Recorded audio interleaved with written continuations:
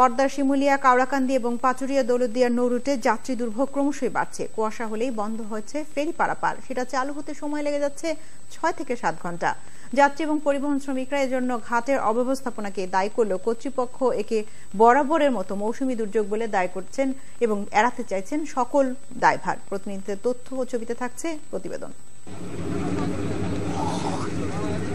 বুধবার সকাল সাড়ে আটটার পর কুয়াশা কমলে শুরু হয় পাটুরিয়া দৌলতদিয়া রুটে ফেরি চলাচল।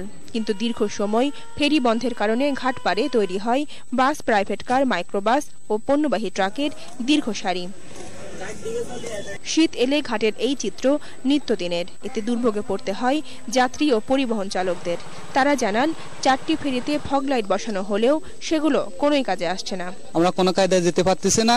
এখন পর্যন্ত আমরা ফেরিতে তো উঠতে পারি নাই। আমরা রাত একটার সময় এখানে ফেরিঘাটে আসছি। কুয়াশার কারণে আমরা আটকে আছি। অনেক যাত্রী ভোগান্তি খুব কষ্টে আছি আমরা। ফেরিতে যদি পর্যাপ্ত পরিমাণ ফগ লাইটের ব্যবস্থা করত তাহলে আমাদের এই কষ্টটা এত দুর্ভোগ হতো না। তবে ঘন কুয়াশায় ফেরি চলাচল বন্ধ হয়ে যাওয়াকে শীতকালীন দুর্যোগ বলে দায় এড়াই ফেরি কর্তৃপক্ষ। আল্লাহর হাত এবং প্রাকৃতিক দুর্যোগ প্রাকৃতিক উপরে কারোর হাত নেই। যখনই কুয়াশা হয় তখন আমরা আম, ফেরিগুলো বন্ধ হয়ে যায়।